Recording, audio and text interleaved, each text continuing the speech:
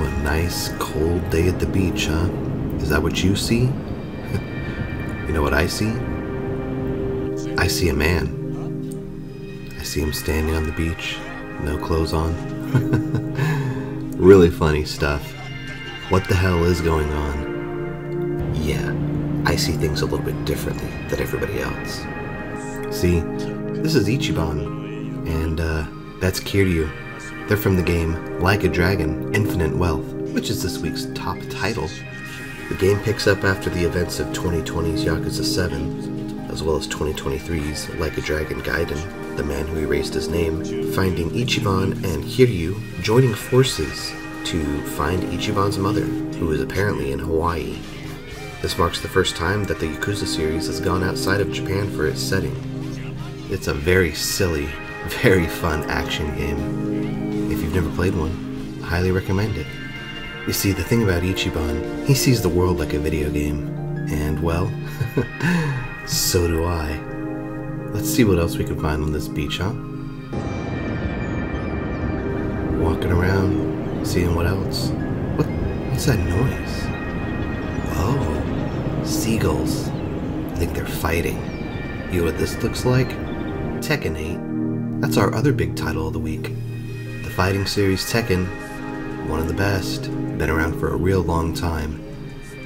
The way they fight reminds me a lot of the way the birds are fighting, you know?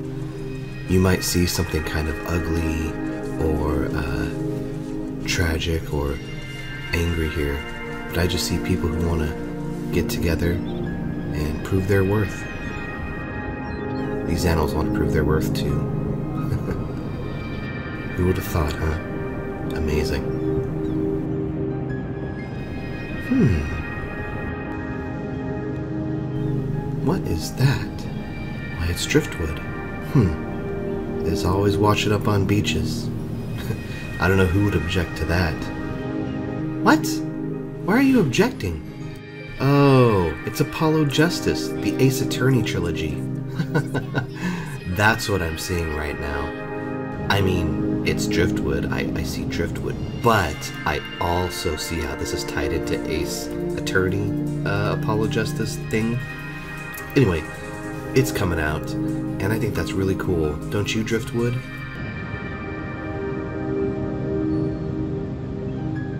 In this collection, we've got three older titles Apollo Justice Ace Attorney, Phoenix Wright Ace Attorney Dual Destinies, and Phoenix Wright Ace Attorney Spirit of Justice that, uh, you know, are pretty sick. You know, I'm not gonna let this gray beach day get me down, because as I said earlier, I see it as a sunny day. hey, what's that? Oh, seaweed. Looks kind of weird. You know what else looks kind of weird? Under Night in Birth 2, Sys:Celes. It's a fighting game. I know this seaweed's not like fighting itself, but uh, it is fighting with our own collective idea of what beauty is.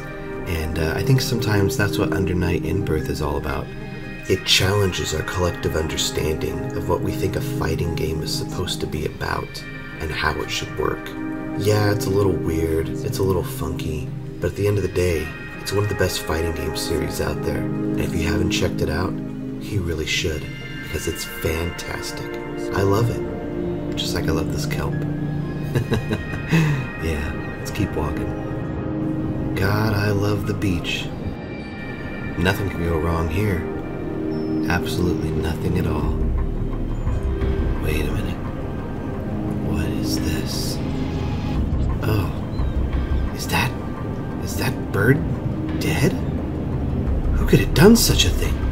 Maybe it was a hitman. A hitman looking for blood money and a re- reprisal. Like in Hitman Blood Money Reprisal. This is an old Xbox 360 game and uh, came out on mobile devices back in October of 2023. Now it's coming to Switch here in January. Looks like it could be a lot of fun. I wonder who killed this bird though. Was it the hitman? oh no. Uh, I better get out of here. well, I think I'm about done with my beach walk here, folks. Hope you saw some interesting games for this week. I know I sure did. And not just here in this video, but in real life. Because I see video games in real life. You know, I mean, yes, I do. Okay.